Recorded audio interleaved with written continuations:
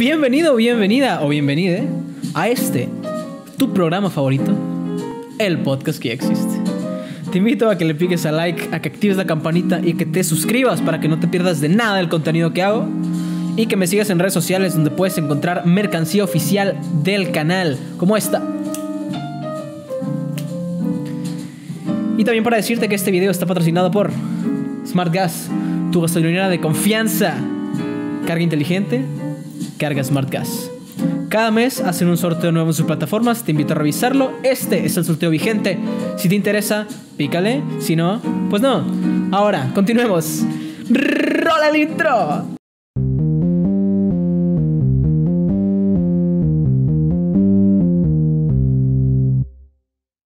Bienvenidos gente al podcast que ya existe. ¿O no? ¿O no? el día de hoy traemos a alguien eh, que toda la serigüelliza ya está viendo aquí. César Jugar, ¿cómo estás? Muy bien, muchas gracias Danilo por invitarme y pues encantado de ser partícipe de tus podcasts. No, neta, el gusto es mío. Este, ya quería cubrir este rubro también y yo sentía que no podía dejar ir la oportunidad antes de irme aquí a la ciudad de grabar con alguien de la zarigüeyiza y pues al fin se, se me hizo el asunto. ¿Cómo está hablando ya? Vamos a meternos de lleno en la zarigüeyiza. O bueno, no en la zarigüeyiza, sino en el proyecto que traes o que traen ustedes, que no sé. Yo, te, yo te invité porque para mí eres como un referente principal dentro de este, este mundo del running, ¿no? Aquí en la ciudad al menos. ¿Cómo es el proyecto que traen ahorita? Sé que andan muy movidos con el maratón. ¿Cómo se originó? O sea, Cuéntame, cuéntame cómo funciona todo ese rollo. Bueno, muy bien. Antes que nada, gracias por lo de referente. No considero yo serlo, pero agradecido por, por la invitación de nueva cuenta. Eh, bueno, ahorita el proyecto, que es el club en sí mismo, ¿no? Eh, sí. Estamos o tenemos clases al público en general, gente que se quiera acercar a nosotros para activarse. La idea es eh, promover el bienestar a través de la activación física, como siempre lo repetimos. Sí. Eh, te decía, el proyecto es ese principalmente. Viene como una o, o, como un complemento de estas mismas actividades, la organización de eventos deportivos. Ahorita vamos a llevar a cabo la segunda edición de un medio maratón. El 2021 fue la primera, la primera. edición y pues andamos ahorita a marchas forzadas eh, con todo para este próximo 27 de marzo. Sí, sí, se ve que están moviéndole bastante. Sí, lo ves por redes sociales, ¿no? Sí, sí, sí, a cada rato publican nuevo patrocinador y yo, ¿Qué, qué, por qué? O sea, ¿qué, qué hay dentro de ellos? Sí, sí. No, pues ven los patrocinadores algo interesante ahí. Te digo, es un evento naciente, segunda edición. Sí. Eh, esperamos poderlo consolidar como un referente ahora sí a nivel nacional, que los mochis pinte a nivel nacional y es por lo que el equipo de trabajo está esforzándose. Sí vi que había como un mapa que sacaron de sí. toda la gente que se estaba uniendo. No sé si a la, a la, carrera o apoyando el proyecto o cómo está ahí esa organización, ¿a qué se refiere? Ese mapita que acabas de ver es prácticamente la gente que se ha inscrito, es decir, los estados que van a tener representación en esta edición hasta ahorita, ¿no? Conforme van los sí. registros ahorita. Nos queda un mes todavía de registros, eh, esperemos pintar completamente el mapita de amarillo porque queremos tener sí. a todo México aquí en Los Mochis. Sí, estaría excelente, la verdad. Así es. ¿Y eso cómo se fue dando? O sea, ¿quién fue haciendo las conexiones? ¿Cómo fueron llegando la gente o simplemente yeah. se dio porque conocieron de alguna manera? Por ahí manera? alguien dice benditas redes sociales sí. y las redes sociales es lo que nos ha hecho llegar a la gente. Entonces, eh, los mismos elementos del club que están comprometidísimos con, con, con las actividades que realizamos, comparten, entonces tú sabes, redes sociales se hace una cadena y uh -huh. es así como llegamos a la gente, eh, compartiendo en grupos de corredores, eh, si alguien está en algún grupo, entonces co comparte y es así prácticamente como llegamos a la gente de México. Obviamente que la primera edición fue el parteaguas para que los corredores conocieran. Para ir que, midiendo también exactamente, las, las aguas. Y entonces, eh, como toda organización que pretende mejorar sus ediciones, edición tras edición, es lo que queremos hacer prácticamente. ¿Cómo este fue la primera? O sea, el, el abarcamiento de, de, ver cómo funciona en general una, una, una competencia, ¿no? Un, un ah, evento. Ok, mira, nosotros fuimos primerizos como organizadores en la primera edición. Obviamente siempre hay una primera vez, pero para esto tuvimos un evento en el 2020. O sea, uh -huh. hemos realizado cuatro eventos deportivos como club los tres anteriores y este que va a ser el cuarto. Okay. Eh, los tres anteriores en medio de la pandemia que nos aventuramos sí. a hacerlos, pero sí, particularmente yo tenía muchas ganas de traer deporte a los mochis. Pero eran privados, o sea, eran entre ustedes solamente estos, es, esos eventos, eh, por bueno, la situación. ¿o cómo sí, estuvo? bueno, para allá vamos. El 2020, eh, que inicia pandemia, eh, pasa la primera ola y en agosto por allá eh, decido platicarle a, los, a mis compañeros que en ese entonces éramos poquitos, saben que vamos a organizar un pequeño medio maratón de aquí de Los Mochis terminando en el Maviri convocamos por el Instagram. Quien se quiera unir como un fondo dominical, normalmente los grupos de corredores los domingos madrugamos sí. de locos, pero ahora, ¿te acuerdas cuando éramos un poquito más jóvenes? Queríamos el domingo para levantarnos 10, 11. Ahora queremos el domingo para, levantarnos a las 4, 4 y media de la Hay gente que se levanta para ir a misa y luego están ustedes. Y los corredores en otro nivel. sí. Así es. Entonces les platicaba yo que era una buena posibilidad de aventurarnos en petit, en pequeño, ¿no? Ah, y así fue, lanzamos en Instagram, ¿saben qué? 100 corredores vamos a tener, locales obviamente, iniciamos en Privanzas y vamos a concluir en el Maviri. Cada quien lleva su hidratación, vamos a pedir asistencia nada más de protección civil para que nos cuiden. Y así fue, se fue dando, ah, la gente se inscribió, fue gratuita, conforme a aportaciones que hicimos los mismos elementos del club, se compraron medallas.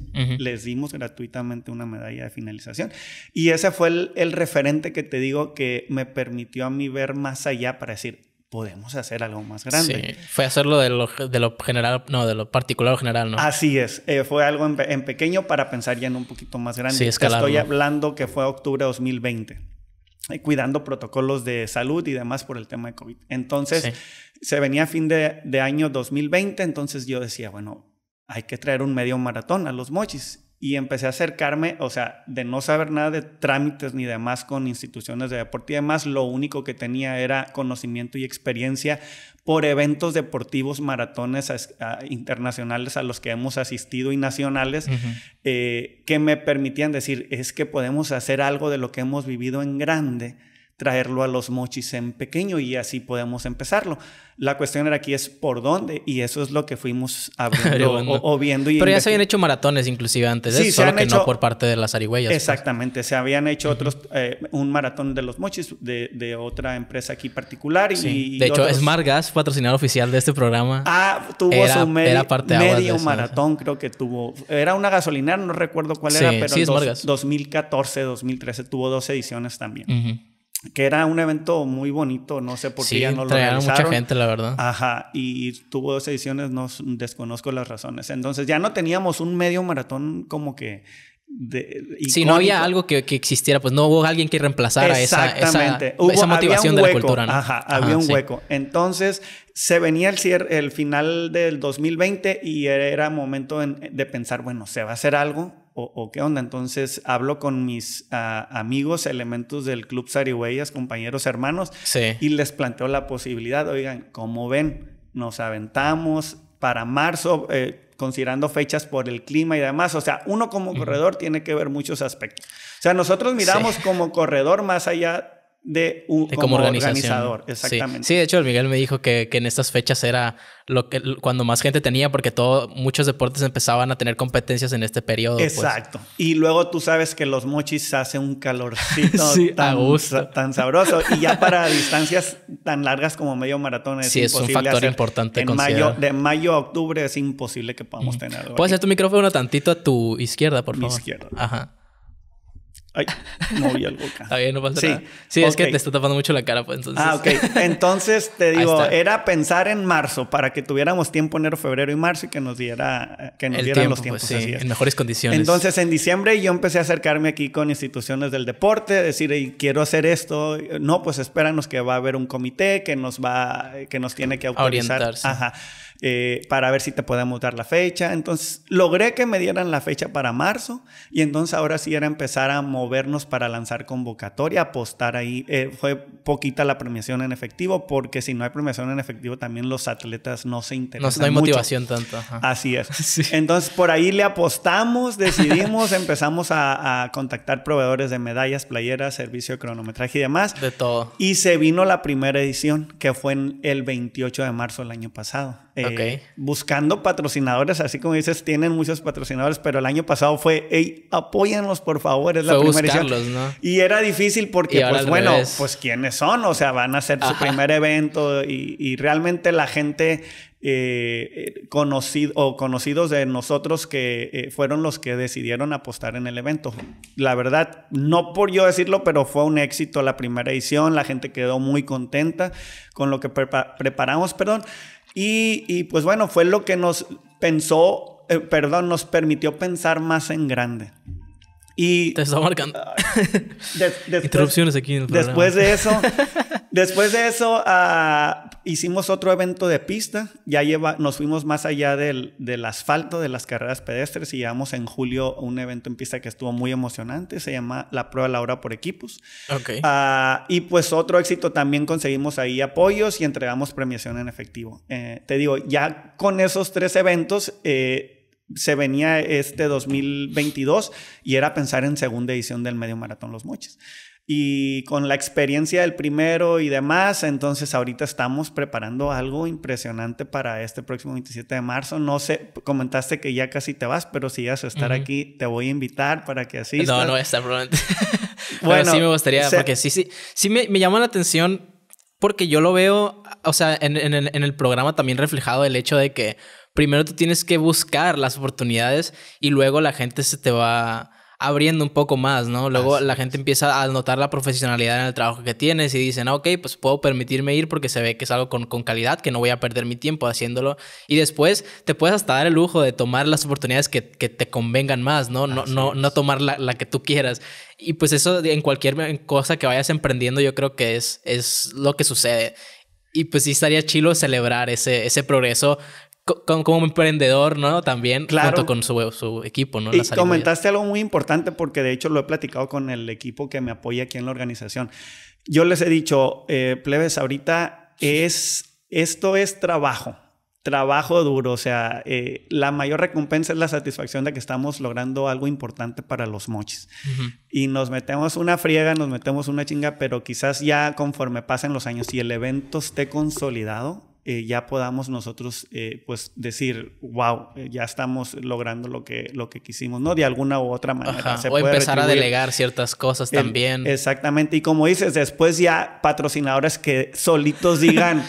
Queremos apoyar tu evento. Queremos Antes de publicarlo, ¿no? Que te digan, ¿cuándo va a ser el siguiente? Así es, ya queremos estar en la quinta, sexta, séptima edición. Sí. Y te digo, lo más importante como proyecto que traemos es eh, dentro de uno de los puntos es que pinte Mochis en el mapa a nivel nacional y la gente sepa, el medio maratón de los Mochis es uno de los mejores. Y estamos haciendo el, trabajo, estamos haciendo, eh, poniendo el mejor de nuestros esfuerzos y esperamos que no sé en dónde andes en 10 años, pero que puedas decir, sí. yo estuve con el director del medio maratón Los Mochis cuando era la segunda edición y ahora miren dónde, dónde está el evento, más allá de mí, dónde está el evento, ¿no? Y, y el equipo de trabajo que... Sí o quién sabe si las zarigüeyas llegan a escalar también. O sea, no necesariamente el maratón de mochis, porque pues se tendría que ser aquí, obviamente.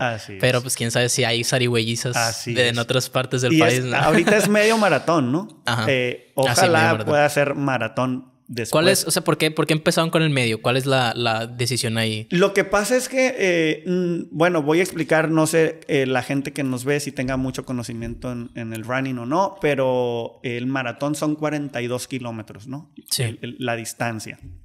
Medio maratón es la mitad, 21 kilómetros. La logística para un maratón de un, un, maratón completo es mucho más complicada porque ya el corredor tiene muchas más necesidades, ¿no? Y entonces decidimos, eh, como era, éramos primerizos, es vamos a aventarnos con un medio maratón. Y el medio maratón también es de interés de mucha más gente que el maratón. Entonces eso nos va es más, o sea, la exigencia es menor, entonces puedes capacitar a más gente. Exactamente. O bueno, se puede capacitar la gente en, su, en su, medida, ¿no? Sí, sí, sí. Más, más lograble el éxito. que igual yo creo que, que no, no es necesario, o sea, el punto es intentar, ¿no? Ponerte un, una meta, ponerte un reto de, de, de, voy a intentar hacer el maratón antes de, de si no gano, pues no, no, no importa, ¿sabes? Sí, sí, sí. Y el medio maratón, ¿no? Antes del el medio maratón, Sí, sí, sí, el medio maratón. Así es, sí, porque ahorita mucha gente aventurera que eh, sin hacer medio maratón ya quiere correr maratón y eso sí es muy riesgoso, inclusive para el bienestar propio, ¿no? Porque el maratón es demasiado demandante. Y, y, bueno, este, pues es prácticamente eso. Uh, ahorita estamos con, con, muchas ganas, te digo, de, de, de posicionar el evento y, y, aquí andamos. Lástima que no te va a tocar. Ya sé. Sí, pero ahí está representado. De hecho, sí pensé en, en, en, si me cae dinero, meter ahí patrocinio también, pero pues ah. lo tuve que invertir en, en, ah. viajes que tuve que hacer ah, para el programa también. Sí, no, pues. Que estuve en Mazatlán hace poquito con, con Brianna Tamara, una boxeadora que fue a Tokio. Ahí está su. Bueno, aquí está el. Bueno, este fue el panamericano que, que, ganó en Lima. Ah, mira, sí. Y allá está el de Tokio. Muchos objetos aquí. sí, sí, bastante random. Vean ese episodio si ya salió. Este, no sé todavía la logística, pero, pero vean, la neta, es una oportunidad que no podía desperdiciar y pues ahí se me fue. Era o invertir en la Sarigüeyes o. Sí. Sí, no, no, pero igual, igual aquí lo importante es apoyarnos, ¿no? Sí, y, sí, y ahí luego yo hablo también con la gente de redes sociales y vemos de qué manera te podemos echar la mano también. Sí, la neta estaría excelente. Yo estoy abierto a cualquier apoyo, igual a, apoyar a la gente. No, no, y ahorita que tocabas el tema de las arihueyes, efectivamente es también se pretende hacer crecer el club. Acabamos de aperturar clases para niños, zarigüeyitas, que andaban felices ayer, eh, los niños diciendo que son zarigüeyitas. Y te digo, aquí es hacer que la familia se active. Tú sabes con lo que hemos pasado recientemente con los problemas de salud, el principal factor clave que previene es la, actividad, física. exactamente, y pues es lo que buscamos. Y, eh, empatamos los horarios de adultos y niños para que si un padre de familia lleva niños, se meta a la clase de adultos. Que, aprovechen. y no vaya a sentarse con la cobijita por el frío. ¿Cómo empezó las zarigüeyas? Bueno, cuéntame eso antes. Zarigüeyas, uh, ok. No te interrumpí. ¿qué ibas a decir? ¿Que ayer qué? Ah, ayer eh, fueron varios padres y les decía que, bueno, les comentaba lo que te digo. Vienen, aprovechen ahorita la hora para no, sentarse y activarse. Ya están los adultos trabajando. Miren, si no tienen ningún antecedente deportivo, no pasa nada. Los profesores ahí los van a atender conforme a sus posibilidades y capacidades. Sí, sí, sí. Bueno, ahora sí. ¿Cómo empezó este rollo? Porque siento que ya tiene bastante tiempo fuera de redes sociales también, que era algo que empezó como un hobby para ustedes. Así ¿Cómo se fue formando? ¿Cómo, ¿Cómo son los orígenes de las eh, eh, bueno, Sarigüeyas eh, ya cumplimos dos años de haber sido, de, haber nacido, ¿no? Como tal, como Club Sarigüeyas. Oficial. Oficialmente. No quiere decir que tengamos dos años en esto. Obviamente tenemos ya una trayectoria un poquito más amplia en el atletismo. Ah, yo empiezo en el 2004 a correr por allá, pero hasta el 2015 eh, me nace la idea de empezar a correr distancias porque yo venía de correr velocidad, 100 y 200 metros, o sea, era completamente diferente en cuanto a, a las capacidades o a las condiciones que necesitas para correr distancias cortas a distancias largas.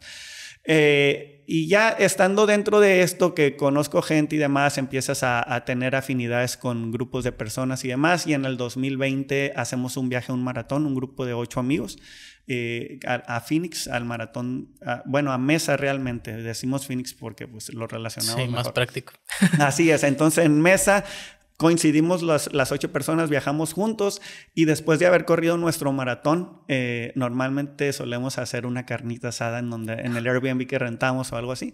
Y platicando, echándonos la cervecita, es, eh, tenemos que hacer algo por Mochis, o sea, tenemos que hacer algo por las sociedades, no un equipo, o sea, un club que la gente se pueda empezar a integrar y demás. Y pues así nace la idea. Eh, lo que seguía era el nombre, qué nombre le podemos poner. O sea, porque la gente se pregunta por qué zarigüeyas. Entonces, pues en ese grupo de personas eh, tenemos un par de gemelitas y yo siempre les cuento esa historia porque esa es la historia real, ¿no? Que pasó. Son dos gemelitas uh, que siempre andan juntas y luego corren y andan bien inquietas de un lado para otro y demás.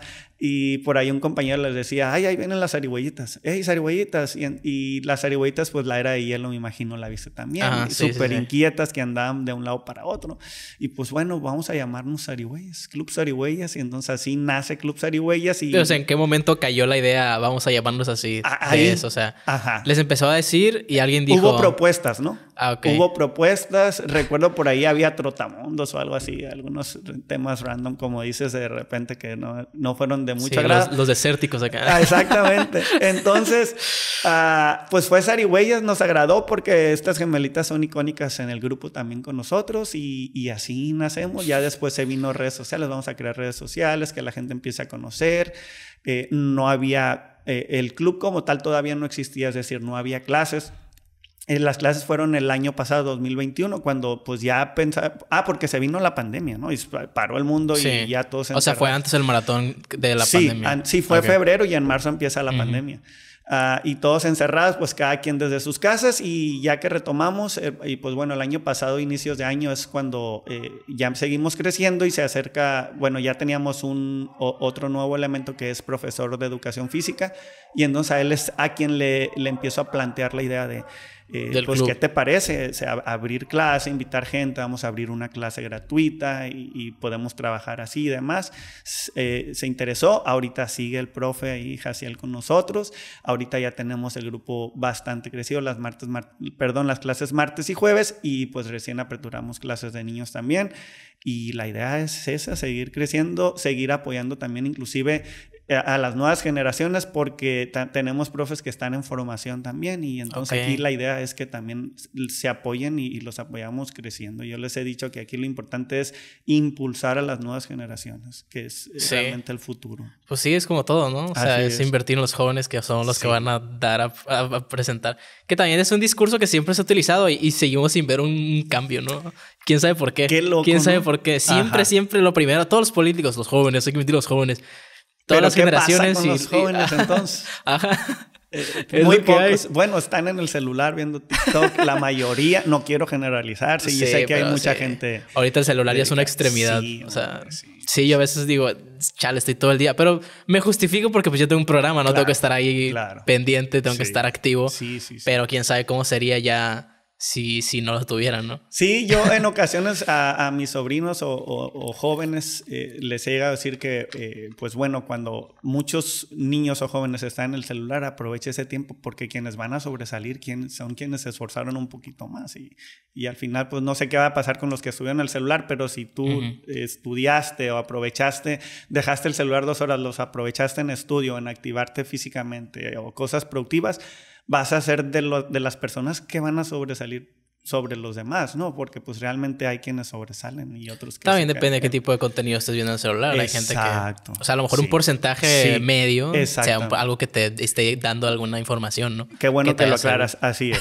así es. sí, yo creo que ahí está ahí el, anclaje, el punto de partida de, de, no satanizar tampoco el celular porque es una herramienta que pues al día de hoy no sirve. De hecho, TikTok es una herramienta que a mí me sirve mucho porque te puede soltar facts, random facts de la nada que puedo traer yo aquí al programa. sí, sí, se puede aprovechar, la tecnología la podemos aprovechar, ¿no? Y el, detalle es cuando ya lo tomas como ocio y ya el día se te va. Sí, que TikTok es una ah, asquerosidad en ese sentido. Sí, pues es lo que te digo. te metes y no sales en tres horas y no sabes, parece una máquina del tiempo, la neta. Se te va. se, te, va el tiempo, se te va la vida como se nos han ido estos dos años que dices, ¿cómo que ya pasaron dos años? Ajá. Y seguimos todavía pensando que está. Bueno, en realidad sí seguimos estando, pero o sea, ya no se, no se siente como que perdimos un poco la, la sensación de, de qué línea del tiempo estamos. ¿no? Está bien curioso.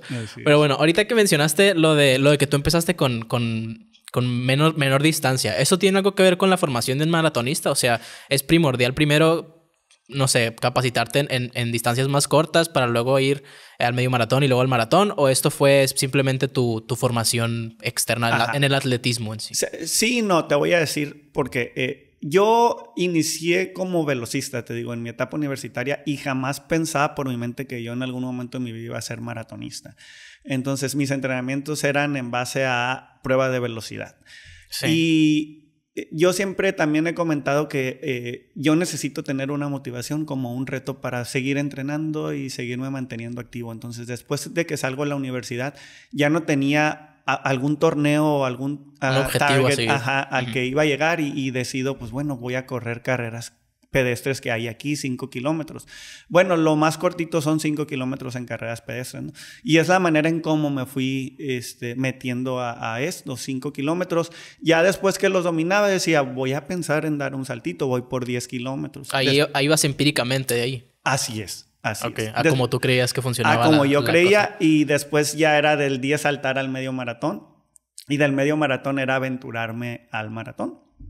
Y pues así fue de manera empírica de, meterme a internet y buscar planes de entrenamiento, que es otra de las cosas que siempre le digo a los muchachos, no hagan eso, siempre vayan con planificados con, con algún profesional. ¿Porque te tocó lesionarte o algo así? Eh, afortunadamente no, bueno, tuve por ahí antes del, del mi debut en maratón sí una molestia en, la rodilla, pero eh, no me fue nada bien en mi primer maratón. Eh, y, es prácticamente por, eso. Exactamente, por la falta de planificación. Porque tú te guiaste así. Al principio, ¿cómo, cómo decías o cómo arrancabas en un maratón, por ejemplo? ¿Arrancabas igual que, que en los 100 metros o en los 200? No, no. Bueno, el primer maratón que hice fue el que... O bueno, las primeras carreras, perdón. Ajá. Ah, en las, en las carreras, sí, es el error que todos cometemos, querer arrancar demasiado rápido. Como en muchos proyectos que tenemos, inclusive en la vida, queremos arrancar y tener resultados de ya, ¿no? Y, pronto dejamos, pero pues no, aprendes a base de, los golpes, ¿no? Y de, que también lo te ibas, ahí, te ibas ahí por inercia también, ¿no? Así es. O sea, porque tú ya estabas acostumbrado, mentalizado a que así se empezaba. Sí, sí, pero son cositas que vas aprendiendo porque ya al kilómetro uno, pues ya, ya no puedes más porque arrancaste demasiado rápido, entonces a la siguiente carrera corrí y es prueba y error, prueba y error, prueba y error. Ah, sí. Sí, pues es, es eh, así como fui dando saltitos a través de las distancias y las recomendaciones que hacemos ahorita que te digo es eso, planifíquense, busquen a alguien de, que tenga experiencia, que tenga conocimiento, que esté preparado realmente para transmitirte este, y, y que puedas lograr lo que realmente estás trabajando, ¿no? O, pretendes lograr. Y eso te pasó a, raíz de tu problema en la rodilla, a tu, de tu molestia dijiste, tengo que buscar a alguien que me... Fue mi primer maratón, ese en el que no tuve planificación, pero que me fue re mal. Fue no fue una lesión porque a la semana yo ya estaba corriendo, pero sí, me fue muy mal y no fue la mejor experiencia que fue aquí en Mochis, en el maratón de Mochis donde debuté. Y ya para el segundo maratón, entonces fue cuando yo empiezo a buscar, necesito una persona a algún entrenador que me lleve a poder mejorar o a tener la experiencia que realmente es el maratón, porque para mí mi primer maratón no fue una experiencia de maratón, o sea, quería quitarme de la cabeza. ¿Cuál fue tu desempeño en el maratón? O sea, ¿te eh, acuerdas de los tiempos?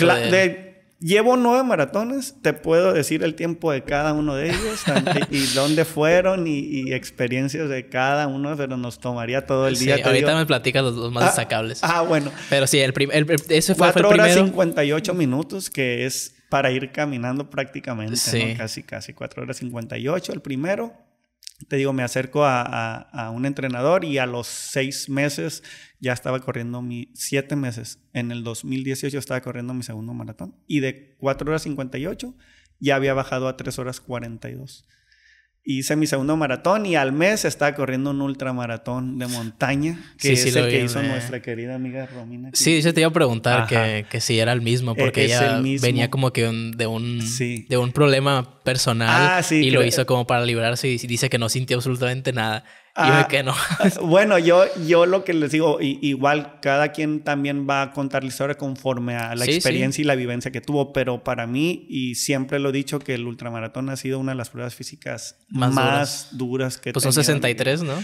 63 hice 10 horas con 15 minutos de esas 10 horas fueron yo creo como cuatro en donde en un par de ocasiones sí volteaba al cielo y le pedía a Dios que me diera fuerza. Así textualmente le decía, Dios mío, dame fuerza volteando al cielo, porque estuvo muy duro.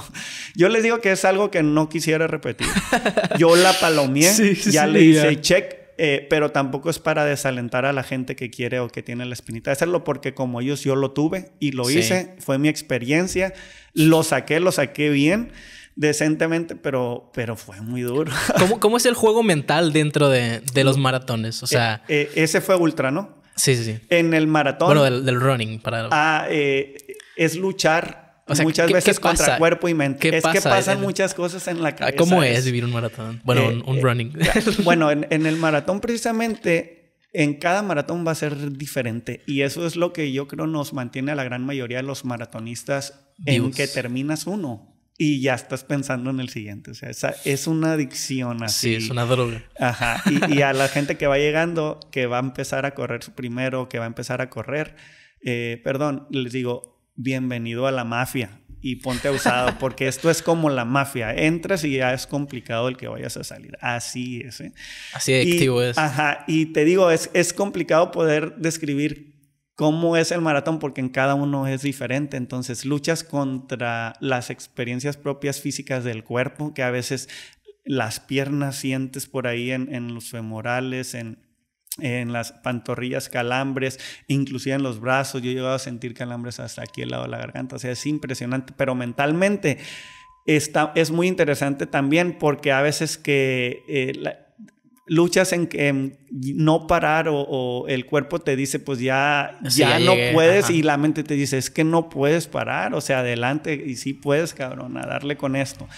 Y, y mentalmente te transportas a todos los momentos que, que tuviste durante ese proceso, porque para llegar a un maratón, te puede tomar cuatro o cinco meses, ¿no? De estar mañaneando, como te decía, los domingos, pero no solo los domingos, estar de lunes a viernes, a veces sin ganas de entrenar porque el cansancio llega, inevitablemente te llega en una parte del proceso. Y entonces mentalmente ya corriendo, te digo, te remontas a todo eso y es la automotivación que te puede llegar a ti para decir, pues mira todo lo que viví, ahorita estoy aquí. Y además que a mí me ha tocado correr afortunadamente en escenarios impresionantes, la verdad. Estoy... Ok. A lo mejor también eso es como una distracción mental, ¿no? ir, descubriendo mientras, o sea, vas en automático. Por así, es. Eh, vas en automático pensando, te digo, en mil cosas eh, y también luchando contra las sensaciones físicas y viendo a la gente que te aplaude y te motiva y viendo... Empiezas a decir veo, veo, ¿no? Para no... veo, veo, que es una... Empiezas a describir las cosas que vas viendo para eh, distraerte. Sí, sí, y, y, en un maratón también hay muchas cosas en las que te distraes porque hay gente que tiene sus letreros y a veces hay cosas tan graciosas que lees y, y aunque vayas bien cansado lo, lo ves y, a veces yo me, me carcajeo. ¿Qué otras estrategias planteas? En, o sea, ¿qué, ¿qué haces tú para distraerte? Ah, pues bueno, almeno eh, creo que has escuchado, no sé si has escuchado por ahí en el maratón del kilómetro 30 es cuando decimos que inicia la carrera, ¿no? A partir del kilómetro 30, esos últimos 12, por así decirlo, es la lucha constante entre mente y cuerpo. Ok.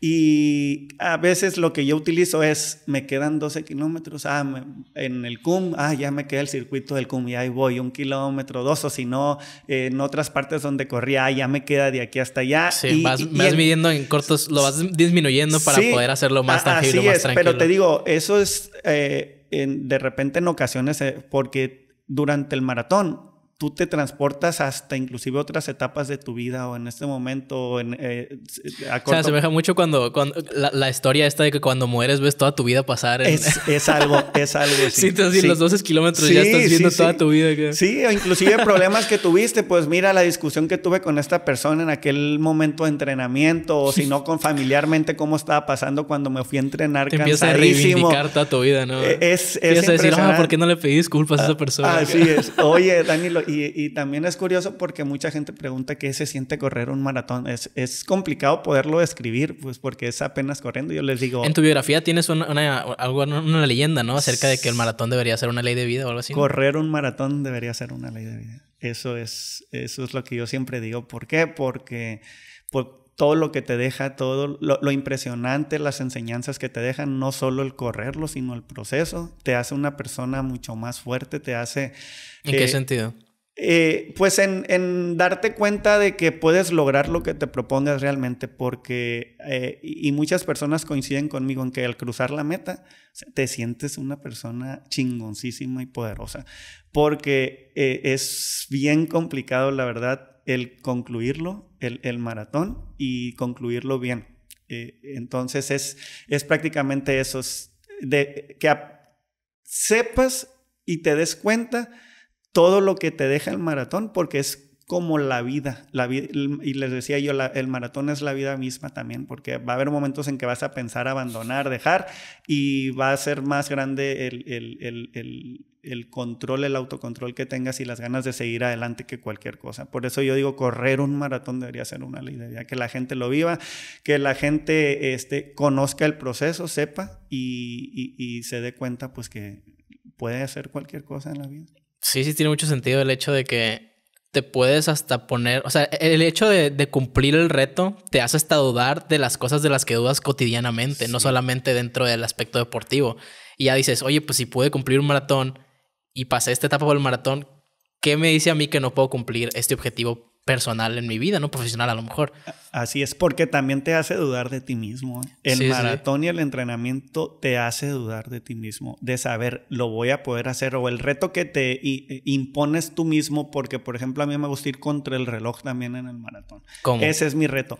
De lograr hacer, de, ir de ir a, de buscar, digamos, un tiempo determinado. A mí me gusta correr los maratones abajo de tres horas, que es, es, es un buen reto, ¿no? Para los mortales como nosotros Y para lograr es bajar de tres horas, pues sí, en, en, los checkpoints que dices es, tengo que cruzar este kilómetro en tanto, y entonces ahí vas con la adrenalina y emociones al 100 por, al 1000% para poder lograr lo que te eh, impusiste, ¿no? Como objetivo o meta final.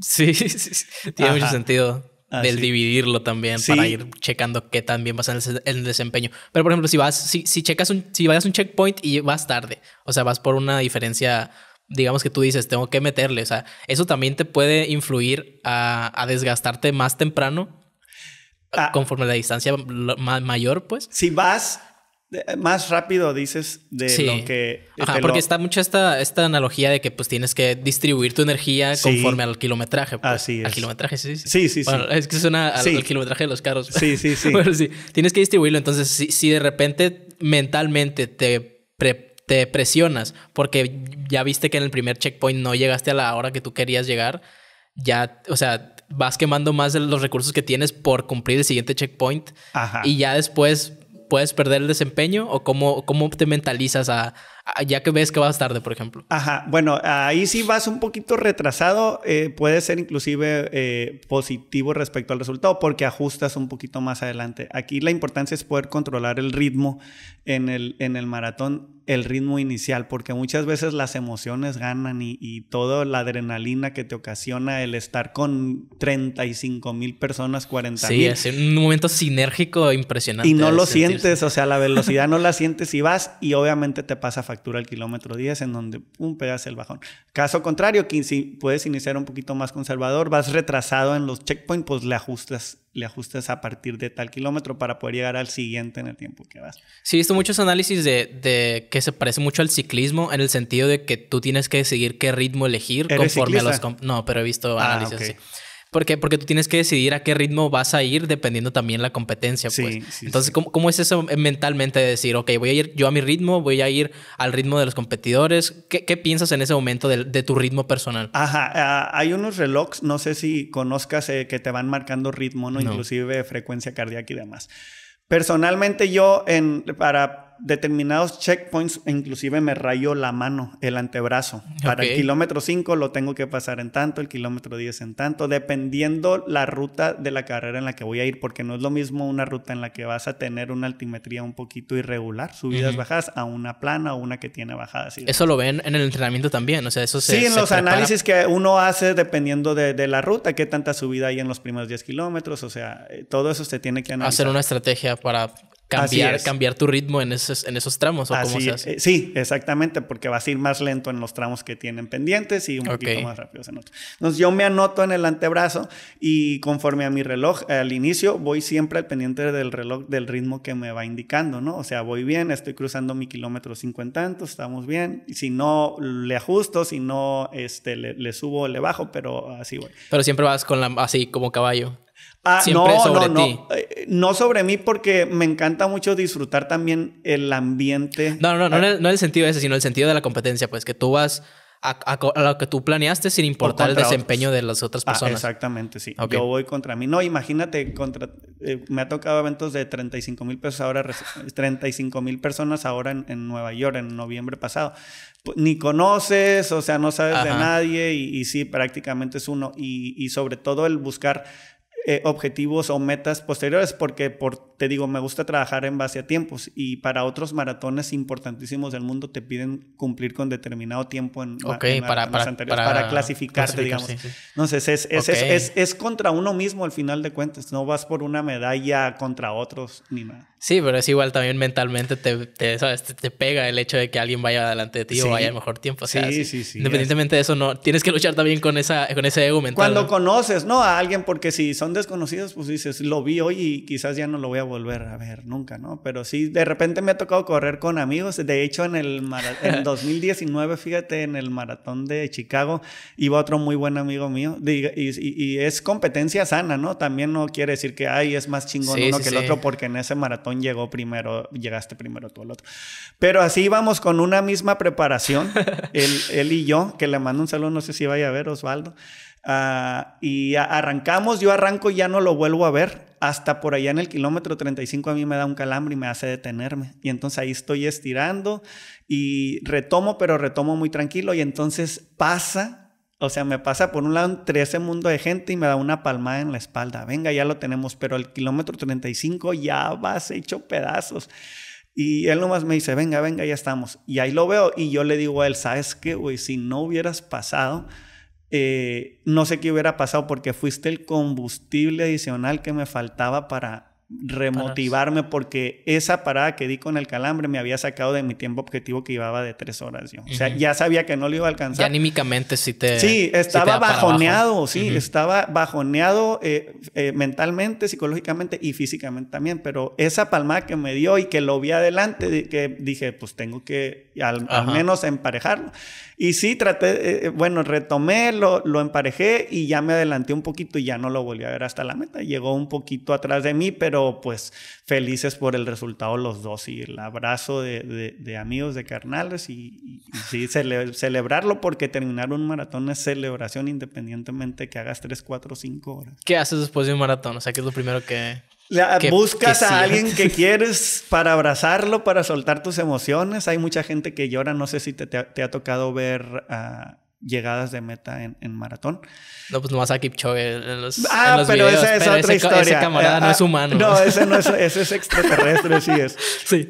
Y, pero la gente normal, mucha gente, la gran mayoría llega llorando por e, todo lo que te ocasiona y las sensaciones y sentimientos que te ocasiona al cruzar la meta que te decía. O sea, te sientes chingoncísimo y mucha gente llorando, pero también ves la otra cara de la moneda, gente que llega casi, casi al borde del desmaye. Me ha tocado ver gente babeando así, que apenas puede caminar y además. Literal van automático. Son, sí, sí, son, es que son muchísimas caras las que puedes ver en esa meta. Ojalá algún día te pueda tocar estar en la meta de un maratón para que veas cada, Todo lo que sucede. cada uno de, de los rostros que están pasando. Y- Sí, De hecho, estaba pensando en, en hacer algo eh, para darle publicidad a Smartgas. O sea, un video pues que tenga algo que ver con, con running, de hacer una ruta por las gasolineras. Pero es, es personal, pues no, Ah. no sé. O sea, estaría para, para, para hacer un video que, Sí. que, que se mueva por redes sociales, Pues- de que la marca se vea, pues, pues- porque yo soy, o sea, estoy patrocinado, entonces tengo- me tengo que hacer contenido. Estaría bien hacer un, un contenido así. Pues ojalá si. Smart Gas nos ve y también se quiera unir Ah, al sí. proyecto, ahí podemos trabajar Adelante. juntos. Smart Gas, esperemos que ahí pronto podamos trabajar también y que sean, ¿por qué no? Eh, Sí. Marca y, pres- y hagan presencia en este medio, en medio maratón. Sí, yo que sí les interesa. O sea, si tienen todo, todo en, en los, en los deportes de aquí. Ajá. Sí, sí, patrocinan los pioneros que están que Sí. vigentes bien poquito, que no, que no, No, apoyen este proyecto. Smart Gas, los queremos en el medio maratón. Ajá, aprovechando el espacio. Sí, sí, sí, igual Ajá. yo les comento. No sé Pero si sí, eh, se puede hacer algo, algo bien eh, conforme a lo que dices y, y si en algo te podemos ayudar también nosotros, cuenta ahí. Sí, o al menos echarte- personalmente alguien que vaya apoyando el recorrido aquí en Mochis. Sí, o sea, claro, claro. No sé si por las risas estaría, estaría interesante. Ajá. No, no, pues y ven. también a ver qué, qué sucede ahí. El punto te decía es que ojalá te, que te toque Ver, eh, ves- eh, ver las caras de los la llegar eh, la, termina. la meta. No sé a dónde te vayas, si te vas aquí en México, pero en México también hay maratones. A Chihuahua hoy. Ah, pues allá vas a tener el ultramaratón que A gusto. cerca ahí en Huachochi es el ultramaratón. ahí. Ahí fue el, el que, el que fuiste tú. Sí, ultramaratón de los cañones. Y pues Chihuahua ahí está cerca de Monterrey. Monterrey tiene un gran maratón también. Pero bueno, no sé si sea lo que realmente te gusta. Yo veo que tus pasiones son diferentes. Sí, pero no, sí, pero sí me gusta la actividad física en Ajá. general. Sí, no, no necesariamente, nunca, nunca lo he probado, pero sí está ahí como que ahí. Ya, ya está, ya estando la hormiguita aquí, ya, Ajá. ya no va a desaparecer. A algún punto de mi vida lo sé que lo voy a, lo voy a hacer por X y motivo, pero, pero ahí Sí, está. Sí, la, no si fiebre, ahorita. la fiebre ahorita del running está creciendo cada vez más. Y sí veo mucha gente pues que de repente... ¿Cuántos son ahorita en la Sarigüeyiza, por ejemplo? Ah, ya somos alrededor de 60 personas, 60 corredores. Sí, Mu- son Varios bastantes. de ellos eh, maratonistas, otros medios maratonistas, gente que apenas empieza en 5 y 10, pero muchos a mí me impresiona el que ya puedan pensar en maratón. O sea, quiero correr maratón y a mí me daba tanto miedo. Yo, para llegar al 21 tenía como que siempre en la mente, a la madre, ya voy a correr 21, ya me toca el siguiente año correr 21, tengo que prepararme. Y ahorita los jóvenes que, que, que llegan yo quiero correr maratón y ya se eh, imponen tiempos durísimos, o sea, no saben lo que son tiempos de maratón, pero yo digo, a la madre, estos sí vienen por, por todo y sí vienen con muchas ganas. ¿Pero por qué te daba miedo, tío? Porque lo, lo veías como algo Porque era 21 kilómetros, o sea, imagínate tú aquí en Mochis pensar que vas corriendo de aquí al Maviri. O sea, ¿cómo, va, cómo corriendo hasta el Maviri? Y ahorita lo hacemos en un entrenamiento, ¿no? Pero pues eso era prácticamente, es cómo voy a lograr correr 21 kilómetros. Sabes que dos kilómetros te cuestan tres kilómetros cuando no corres. pensar en 21 era lo que a mí me daba cierto temor. ¿Pero esta, a qué altura era de tu vida? No, pues cuando no corría distancias uh, largas. Eh, recién Puro pedestre. Sí, sí, pues cuando corría 5 y 10, por así decirlo, ya pensar en que voy a correr 11 más para llegar al medio maratón. Es donde... El doble, ya, ya, costaba mentalmente. ¿Cómo me va a ir o lo puedo lograr o no? Y mira, ahora ya he corrido ultramaratón también. ¿Y cómo empezaste a quitarte esa barrera mental de que vamos a hacerlo? ¿O simplemente fue tirarte a ver qué salía? Es que me gustan los retos, te digo. Ah, me gusta mucho autodesafiarme y ah, en base a entrenamiento también a mí el deporte me ha, me ha, dejado mucho y siempre les digo que el deporte es formación. Ah, eh, y es prácticamente a través de, de, prepararme y, y, quitarme todos esos miedos que venía arrastrando en cuanto a lograr la siguiente... Eh, el objetivo. Ajá. Target. Ajá. El hacerle, el desbloquear la siguiente distancia. Sí, está bien elegante. O sea, pensar en, en que Suena, o sea, son numeritos, pues se, ve que dos dígitos y dices, ah, dos dígitos. Pero hacerlo. Sí, en el papel se ve muy sí, fácil. En el papel se... Eh. Está bien curioso cómo, o sea, puede llegar algo que se ve bien X a costar una inmensidad de trabajo. Sí, sí, sí, no, pero pues sí, podemos hacerlo, o sea, bien preparados y, eh, echando, disciplinándonos, echándole muchísimas ganas, se puede como cualquier cosa de la vida que les decía yo, ah, y siempre les digo, fórmense a través del deporte, sean eh, en cualquier deporte, no solo en la corredera, y profesionalmente ya cuando se llegue a su etapa adulta y, tengan sus profesiones, van a agradecer muchísimo al deporte todo lo que les ha dado. Sí, igual algo muy importante yo creo que también es juntarte con personas que te apoyen en ese sentido, porque es hacer, por ejemplo, hay gente, yo, yo, me, yo, o sea, yo sé de gente que, que, se dedica simplemente a correr maratones por el premio y que se la pasan pues viajando a través del país y que eso viven, pues, y me imagino yo, o sea, ¿qué, qué ¿A qué punto de tu vida tienes que llegar para no sentir que nada te retrasa vivir solo el resto de tu vida a través solamente maratones? O sea, ¿qué, qué te motiva si solo eres tú? Sí, pues hay gente que sí trabaja y, se, y, entrena eh, para, para correr y, y, es su fuente de ingresos, ¿no? Es, es, su profesión al final de cuentas.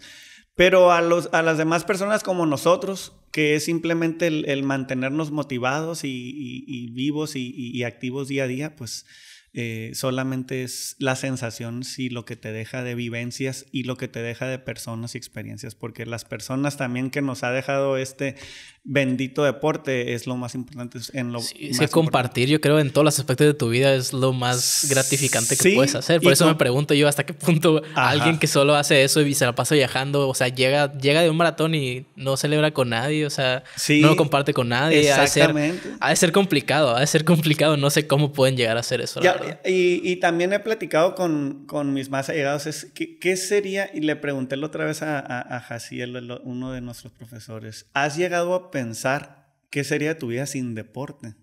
Y dice, a la madre, pues no sé, qué estaría echado en la casa o qué haciendo. Pero también es eh, el, el, andar solo, te digo, con, yo creo que pudieras perder inclusive el rumbo o el sentido de la vida porque no es lo mismo estar solo, estar acompañado y con gente afín a ti que, que piense similar y, y, busquen objetivos similares. Si es, es gasolina, es combustible. Sí, como lo que tú decías ahorita, ¿no? Del apoyo de la palmadita que te dieron, te sirvió anímicamente para completar ese. Sí, así, se logró, ¿no? Y nos ha tocado en otros eventos que eh, la ruta se presta para encontrarnos y ahí le echas el grito después del 30 que ya apenas si puedes levantar la mano y nomás es, yo les digo, si después del 30 no les echo el grito porque a mí me agarran a carrilla y me echan mucho bullying porque yo no los saludo después del 30 si los iba a topar, pero les digo, si yo les levanto el pulgar después de 30, tómenlo como que les estoy deseando todo lo mejor, que los amo y que los espero en la meta, pero no, hay energía para saludar. Ya, no hay energía porque esa energía la puedo necesitar más adelante. Sí, o sea, ese movimiento de mano. Eh, y pareciera exagerado, pero sí, ese, es, eh, te puedes, inclusive cualquier movimiento en falso, yo les digo, me puede dar un calambre y es ya casi, casi ir hacia... Aparte es desconcentrarte un poco, ¿no? Es como quitar el, quitar la, el automático del, del, motor. Así es, pero pues bueno, esa saben ellos y te digo lo importante de, estar acompañado y de buscar objetivos y metas acompañado de gente que, con la que puedas compartir. Sí, eso es, yo creo que es, o sea, todo lo que haces, por ejemplo, o sea, es importante poder celebrar tus logros, no solamente contigo. Y vieras lo que se siente un abrazo de un, un amigo que corre contigo al final de la meta. O sea, ese abrazo, son, son cosas que no cambias por nada en el mundo. Y, si ves a alguien llegando de los tuyos llorando, sabes que ese llanto es de felicidad y gozo, es de, de felicidad de éxtasis completo. Sí, no de que estás sufriendo, porque a veces te puedes asustar o algo, pero pues no, es simplemente abrazar y, qué chingón eres, la neta, felicidad. Cuando, por ejemplo, es que me lo imagino y es como que ahorita que me comentabas el, el, el ultramaratón, ¿cuál fue, ¿cómo era el final? O sea, el, el contexto, ¿cómo era la meta? Ah mi experiencia estuvo bien curiosa. Ah, e, e, ese ultramaratón yo lo quise hacer porque escuchaba mucho de un ultramaratón. ¿Y, fuiste solo al ultramaratón? No, fuimos con un grupo eh, bastante numeroso de gente de aquí de muchos que nos preparamos. Pero ese, ese ultramaratón yo escuchaba que decían que, que han corrido y que han corrido. Y yo, y yo pensaba, bueno, pues si ellos lo han hecho, ¿qué me puede impedir a mí hacerlo? Porque son personas como yo que trabajan, que tienen sus compromisos al día a día, que se entrenan y demás. Y entonces fue como dije, pues vamos a aventarnos. Y otra amiga y yo, pues también. Y entonces empezó a seguir el grupito. Y ya tocó el día, eh, fueron entrenamientos muy duros también, ¿no? Y entonces en ese día ya para el final, este, sí es, es algo muy complicado porque es ¿El final cuántos kilómetros? Eh, es que te sales 17 kilómetros allá aproximadamente en, el pueblo, que es llano, por así decirlo, pero es terracería, y luego te metes a una barranca, que es una montaña. Bajas alrededor de 10 kilómetros, creo, y luego empiezas la subida, pero esa subida es lo más pesado que pueda haber, que yo he vivido, en, te decía, en, mi vida. Y después de, la, de que sales de esa montaña, te quedan todavía como veintitantos kilómetros. Y esos últimos veintitantos kilómetros fue un pesar para mí. Es eh, ir eh, nada más estaba, digamos, estás como en medio del bosque, corren, mirabas unas dos, tres personas, alguien que iba adelante, alguien que podía venir atrás. Mirabas la luz nomás acá, entre eh, árboles. Y si había un punto de hidratación adelante, sí, lo, tal cual lo que comentas, si era de repente entre caminar y correr, pero es que ya cabe esto, por favor, que ya cabe esto, Diosito, ayúdame a terminarlo. Eh, te digo, en medio de la montaña que no, del, del bosque que no escuchaba ruidos de civilización y decía, no me estoy acercando al pueblo pueblo, ¿cuándo voy a llegar? Miraba el reloj, llevaba ocho o nueve horas ya. Y, pues fue la lucha constante que te digo entre mente y malestar físico y cuerpo. Y, pero pues ya aproximándome a la meta, recuerdo perfectamente en ese camino del pueblo que ya empieza a haber vallas eh, yo iba con otro señor, por ahí tengo una foto en mi Instagram que nunca, nunca olvido ese señor porque me acompañó como los últimos 20 kilómetros y entonces ahí platicando le digo, vamos a llegar juntos. Sí, está bien, me dice. El señor iba echando madres también ya porque estaba harto. Y ya que íbamos a llegar, a mí se me empiezan a soltar las lágrimas, pero solas. O sea, era, eran lágrimas y carcajada a la vez. O sea, esa dualidad de, de tristeza. No sé si era triste. Sí, es un reflejo del cuerpo la sonrisa. Y, y, era carcajada, pero con muchas lágrimas de, de, decir, lo hice a la madre. Y ya agarré al Señor de la mano y cruzamos la meta. Sí, ahí tengo la foto. Llegamos juntos. Y entonces al cruzar la meta, ah, fue inevitable el que eh, era un mar de lágrimas.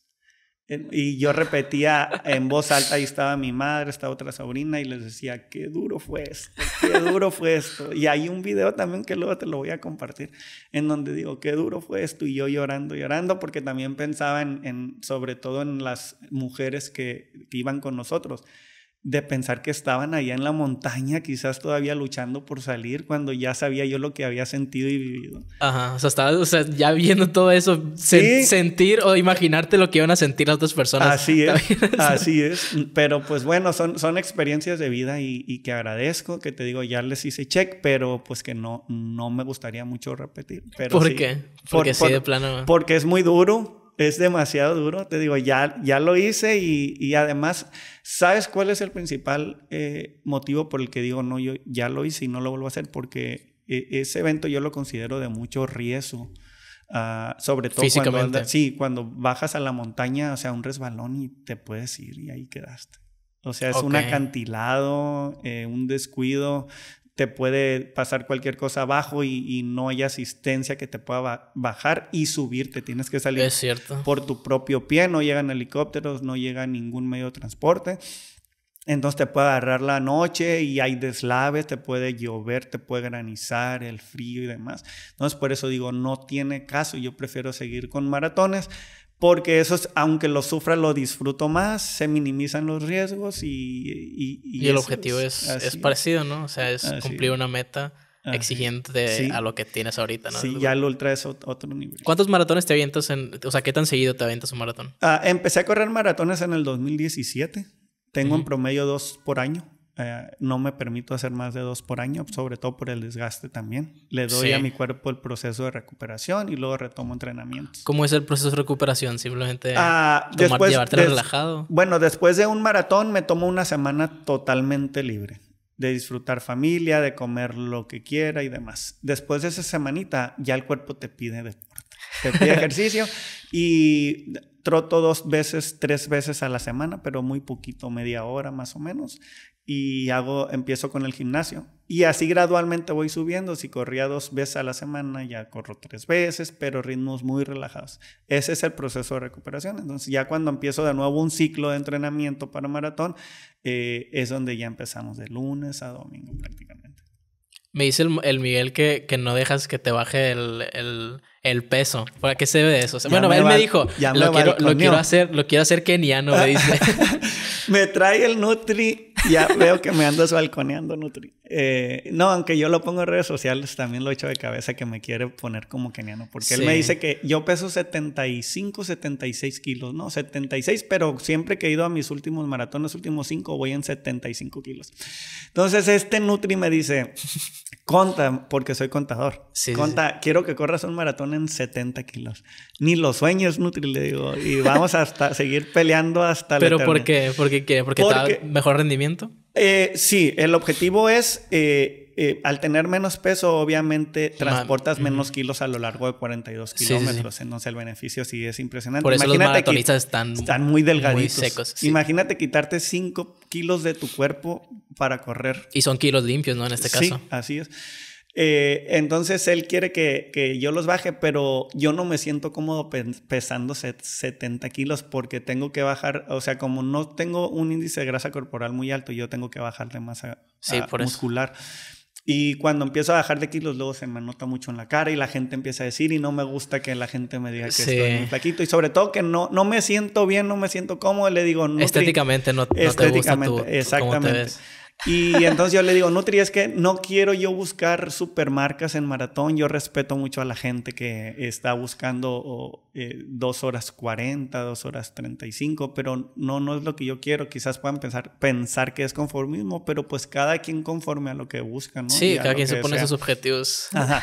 Y yo lo que logre hacer con este peso, lo voy a lograr. Estoy cumpliendo las, las metas que me, que me propongo y, y, ya voy a estar en Boston, que era uno de los objetivos en abril a correr Boston, que es el maratón más importante a nivel mundial en el que no va cualquier corredor, te decía, necesitas una marca. ¿Qué, marca te piden ahí? Eh, es dependiendo la edad. Eh, a mí cuando eh, iba a clasificar me pedían abajo de las tres horas, que son retos demasiado duros, ¿no? Sí, pues ¿cuántos se clasifican más o menos a esa? A ese evento van alrededor de 35 mil corredores, pero de todo, de todo el mundo. ¿no? Sí, es una chinga. Entonces, está peligroso. Bueno, no ah, peligroso, está ¿sabes? Sí. Exigente. Ajá. Y luego las experiencias de la gente de lo que hice en Boston. Boston es icónico por el maratón y entonces la gente allá sale y te apoya y te ve como ídolo cuando llegas. Sí, pues fue el carnaval, ¿no? Pero el maratón. Así es, así es.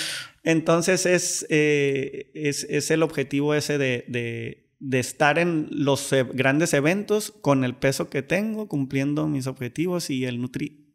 Ya te dije que no va a suceder. Pero ya lo has hecho entonces, o sea, ya, ya has estado en ese peso y no te sientes cómodo. Eh, sí, porque yo, yo vengo de ser una persona muy, muy flaquita. Ok. Eh, y yo, yo creo en la universidad, en la preparatoria pesaba alrededor de 60 kilos más o menos. Yo creo que posiblemente puede ser un trauma el que no me permite ese de volver a lo que era antes porque no me gustaba para nada. Pues batallé mucho en poder ganar peso, ganarlo bien, no, como para dejarlo. Ajá, como para de repente que llegue un Nutri y me diga que quiera que baje 5 kilos para correr un maratón. Pero no, no, mis respetos para el Nutri. La verdad que hemos trabajado, ya tenemos, eh, vamos para cuatro años trabajando juntos. Eh, de hecho, yo creo que fui de sus primeros corredores. Sí, sí me contó que fue de los primeros que atendió para el maratón. Y, y, pues contentísimo de trabajar con él y seguirlo apoyando. Tenemos un apoyo mutuo. Ajá. Ahí vayan y chequen ese episodio. Está muy bueno, la neta. Ah, sí. Véanlo. Yo lo vi una parte y ya me regañó porque no lo he visto completo, pero lo voy a ver completo. Sí, la neta. una persona muy preparada, me atrevería a decir. Si no es la que más aquí en Mochis. Sí lo es. Sí, lo, yo puedo decir que sí es la, la, más preparada. Digo, con respecto a todos nuestros amigos nutriólogos, hay quienes son especialistas. Él es especialista en lo deportivo y hay especialistas en, en lo clínico y demás, pero si, quieren a alguien en lo deportivo, vayan con Miguel, aunque tiene pocas citas, pero por lo ocupado que está y eso es señal de lo bueno que es. Claro. Bueno, aparte también es parte del, del, club, ¿no? Sí, ahí lo tenemos, va a debutar en su maratón. No sé cuándo vaya a salir este podcast, pero antes del 6, si sale antes del 6 de marzo, Nutri, te deseo todo lo mejor y si no, es, sé que te fue de maravilla y que vamos a estar celebrando pronto ahí tu, tu resultado. Con la carnita asada. Con la carnita asada. y con tortillas de harina y queso amarillo. Y pastel y, coca y todos los vicios que nos quitan el Nutri, ¿no? Sí, sí, sí. No, neta sí, me, me, siento muy, muy cómodo. O sea, no, no he tocado ir... Yo iba... O sea, empecé desde hace... Creo que fue de la pandemia que yo dije...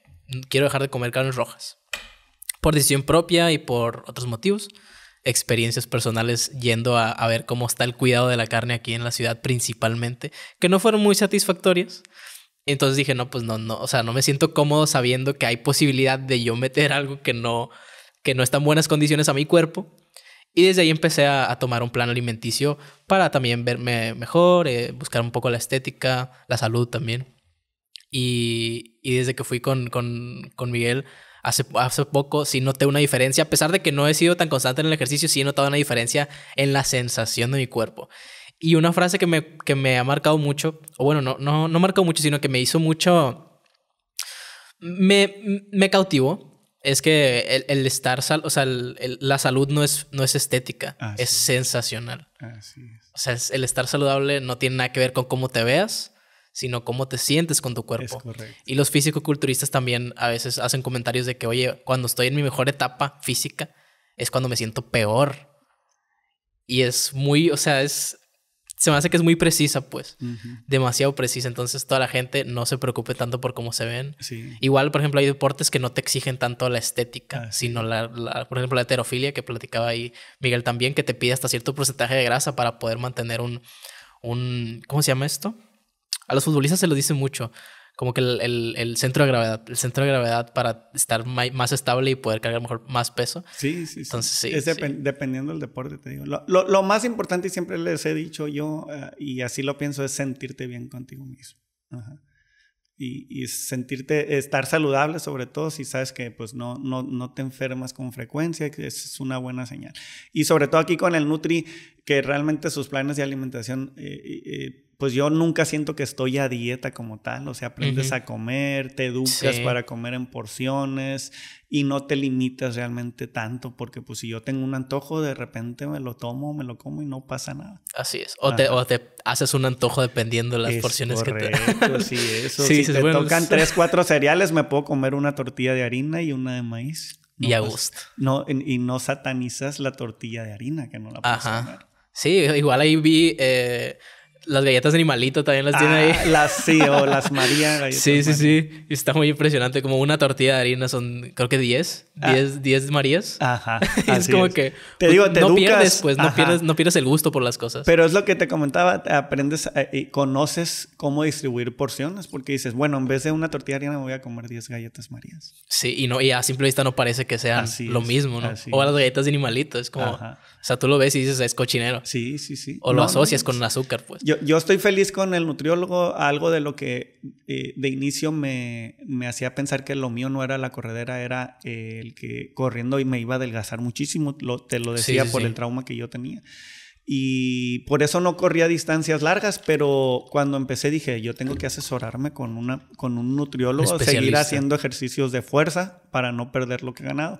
Y así fue como me he mantenido en la corredera, porque pues sí, realmente yo no soy el estereotipo de corredor físicamente de distancia que, que estemos acostumbrados a ver, el muy delgadito, pero pues puedo tener resultados medianos o, o buenos resultados que para mí son buenos con la complexión que tengo, pero gracias a la nutrición y gracias al Sí, entrenamiento. sí, de no se puede, no se puede separarlo, la neta. Así es. Sí, yo, iba a correr en las mañanas sin nada en el estómago y me dijo, no, pues te voy a poner algo. Y en cuanto lo probé, fue como que, ¿qué onda? O sea, es un, es un cambio de vida total. Y eso es que es un pan con mermelada, pues no, Sí, y sí, un café. O sea, no, no, a simple vista no se, se ve eh, bien minúsculo, pues lo que vas a hacer que no, así, o sea, puedes, puedes pensar, sí, puedes pensar que no va a haber una diferencia porque pues, es un pan.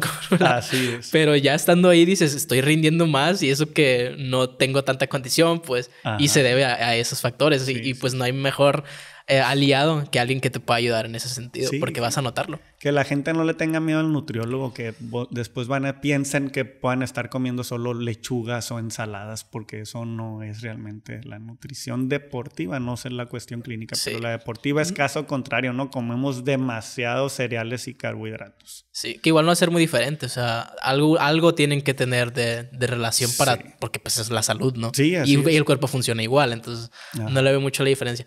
Pero bueno, antes de irnos, quería, quería platicar acerca de la técnica en sí de- del, del running. Ajá. Porque vi análisis de, de este Kipchoge Ajá. que, que al, al inicio todos los corredores se ve como si estuvieran saltando. Sí.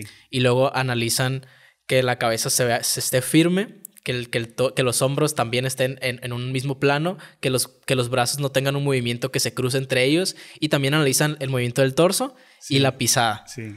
¿Tú cómo es, o sea, cómo te has instruido en ese sentido? ¿Qué es lo que consideras? ¿Cómo se debería de usar la técnica correctamente? Ajá. E- entre otras cosas, o sea, ¿cómo es Lo que acabas de comentar es precisamente lo que se busca ah, en cuanto a la postura de un corredor. Eh, te digo, ah, como yo no soy nuevo en el, en, en el running, porque yo vengo de ser atleta desde el 2004, yo tuve un entrenador, tuve un profesor con el cual sigo teniendo contacto y quien me ha ayudado en la corrección de la postura también. Digo, no tengo la mejor postura, pero pues sí hemos mejorado en ese sentido.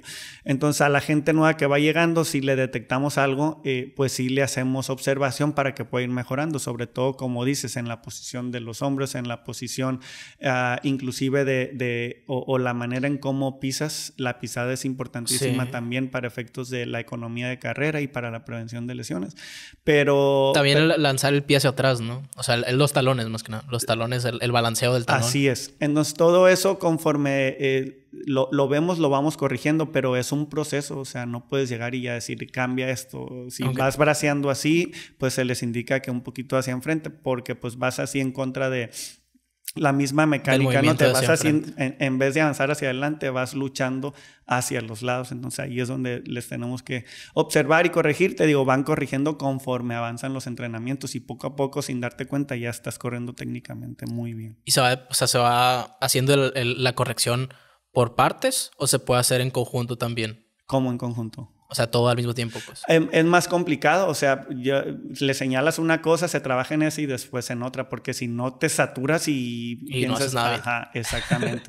Sí, sí tiene sentido. Así es. Este, pues bueno, no sé, algo más que quieras platicar acerca de ti. Sé que eres contador y que mucha gente también no lo sabe. No lo sabe. de- el, el- el Nutri me decía que también le han preguntado por ahí en redes sociales que si, que si yo qué hago porque nada más subo fotos corriendo o, Ajá. o de- en tenis o fotos de Sí, tenis. Sí me ha dicho que también tienes muchos tenis. Y yo le pregunto, me dijo, ese güey tiene todos los tenis que se ocupan para correr. Y yo, ¿se ocupan más de unos? No, me dijo. Pues, no, soy fanático de los tenis, la verdad. Tengo muchísimos tenis. Me gustan. Tienes los Nike Alpha Fly. Sí, los tengo. De, hecho, él era fan de, Adidas y una vez lo hicimos probarse uno de los que usamos nosotros. Miguel. Y Yo también soy fan, de Adidas. Ay, pues ahora ya no quiere dejar Nike por unos tenis ahí que probó. Pero te digo, eh, ¿cuál, ¿cuál era la pregunta? Me perdí. Eh, que si quieres contar algo más, o sea, platicar algo más, más libre acerca de tu vida personal, no sé. Ah, Porque pues, la gente no sabe que eres contador, pues. Ajá, la gente, estábamos en ese punto de que a Nutri le preguntan, pero soy contador, esa es mi profesión, esa es mi principal fuente de ingresos y, y aquí el complemento de la corredera es simplemente mero hobby. El club también es simple, eh, simplemente por apoyar, te digo, impulsar nuevas generaciones. Lo mismo que, eh, pues en esta ocasión te, te reitero que cualquier cosa en la que te podamos nosotros ayudar. Me encanta que las nuevas generaciones traigan ese impulso, esas ganas y esa energía. Así es, y, en lo que podamos, el granito de arena que podamos aportar, ahí tenlo por seguro que vamos a estar con toda la disposición de hacerlo. Excelente. Y entonces, ¿dónde te podemos seguir? ¿Y dónde podemos seguir el club? Eh, etcétera. Ok. Eh, estamos en redes sociales, en Instagram y en Facebook, como en Instagram, arroba Club y en Facebook igual, Club Sarigüeyas, ahí pueden seguirnos. Eh, de manera personal, te digo, en mi Insta es, público también Hubar21, solamente publico cosas de Que también tienes un canal de YouTube, ¿no? Que subes ahí como compilaciones de tus vivencias. los Hubar. ah, pero ahí es, es que también, sí, está en YouTube los Hubar, ahí lo lo abrí porque una sobrinita mía en cuando la pandemia, tú sabes que ya. Sí, sí, que Ahorita criticando los TikTokers, ¿no? Y él, hace TikTok. La, doble, moral, ¿no? Hacía, exactamente. este pero... es su ídolo, me divertía muchísimo. y sobre todo era porque mi, sobrina me lo pedía, ¿no? Y hacíamos, no sé si conozcas a esta, la India Yuridia y Rigoberto. Y en ese entonces iban empezando y, y, me decía, tío, vamos a hacer. Y ahí hay videos en los jugar en YouTube. Y eh, bueno, fue, era diversión total porque salían bloopers y demás accidentes que pasaban y, era mi pasatiempo con ella. Sí, todos hicimos TikToks en la pandemia, ¿no? Sí. No, se mientan. Y ya después le fui metiendo cosas, experiencias de, videos de correr y demás. Ahorita ya estamos abriendo el canal de YouTube de Club Sarigüeyas también, en donde estamos subiendo un poco a poco videos. Eh, estamos como Club Sarigüeyas y pues encantadísimo de que se puedan integrar. La invitación es al público en general que quiera empezar a activarse eh, y ahí estaremos. Eh, tenemos por ahí una frase que utilizamos de nuestro profe, de, del profe que te digo de atletismo, que lo sigo frecuentando, que dice eh, un deportista más es un delincuente menos. Entonces ahí es. Sí, ajá, cuánta invitarlos a que se integren. Esa va a ser la frase de la semana. Ah, bueno. Un deportista más es un, delincuente, menos. Sí. Y por ahí me, me pediste un encargo, ¿verdad? Eh, un objeto. Ah, el objeto. Así que sí, pues puedes contar la historia del objeto de la ah, semana. Bueno, yo les traje este. El objeto de la semana. El objeto, aquí es la cámara, ¿verdad? Esta es la medalla de la primera edición del medio maratón, eh, la del año pasado. Este, y pues lleva varios eh, y, símbolos o iconos de los moches. Están las palmeras, está el Cerro de la Memoria, las tortugas, que sabemos que los moches es lugar de, tortugas. Ah, está la entrada del Parque Sinaloa. Sí, sí. Entonces quisimos darle a la gente algo simbólico representativo de los Y está la zarigüeya atrás. Y pues es la primera edición, está la zarigüeya, está el hashtag que utilizamos que es eh, que los mochis corra, queremos hacer que los mochis corra, que México corra, que el mundo corra pues te la voy a dejar aquí para que la gente que tengas, esperemos que pronto esté esto repleto de, de, tus invitados, que crezcas muchísimo, que te pueda ver también ya luego en grandes ligas en Spotify con millones de reproducciones. Esperemos que sí, la verdad. Ajá, en YouTube igual y desearte todo lo mejor, Danilo. Muchísimas gracias por la invitación. No, no, no. Antes de irme también una recomendación de algún contenido que tú recomiendes. Puede ser lo que sea, música, eh, comedia, eh, eh, series, películas o algo en el deporte en sí. Ajá. O no sé, algo, algo que, tú, que tú quieras recomendar. ¿Contenido para tu canal? No, para la gente que está escuchando esto o viendo esto. Ah, que, se puedan meter a. Sí, investigar algo, a lo mejor un documental de alguien que te haya gustado a ti. Eh, bueno, hay un documental que es cortito relacionado al deporte que es de Usain Bolt, creo que se llama I'm Bolt Eh, está muy motivante. Si lo pueden ver, háganlo. También está el otro de Lorena Ramírez, que es la ultramaratonista ahí de, de Huachochi. Está eh, eh, también para que conozcan lo que es el ultramaratón de los cañones. Ahí lo pueden ver. Y pues esas dos, hay muchas películas también en, Netflix ahorita de, deporte de, motivación, de superación personal. Pero pues bueno, ahí luego se las dejamos si quieres en los comentarios cuando salga aquí. El, ah, pues ahí lo buscan. Son flojos. el, el gaste calórico ahí de sus dedos no, no les va a permitir. No, no, se los vamos a dejar en, los comentarios cuando salga el podcast. Pues. Danilo, muchísimas gracias. No, a ti, la neta. Este, que se me hizo bien curioso que Usain Bolt se metiera al fútbol, eh, hablando de eso. Ahí anda todavía. ¿Todavía? El ídolo de, de muchos jóvenes y ahorita Qué curioso. Pues bueno, este fue el podcast que ya existe. ¿O no? O no. Nos vemos la siguiente semana. Espero que os haya gustado mucho este episodio. Denle amor y sigan a la Zarguiza y a César Hubert. Nos vemos la siguiente semana. Gracias. Hasta luego.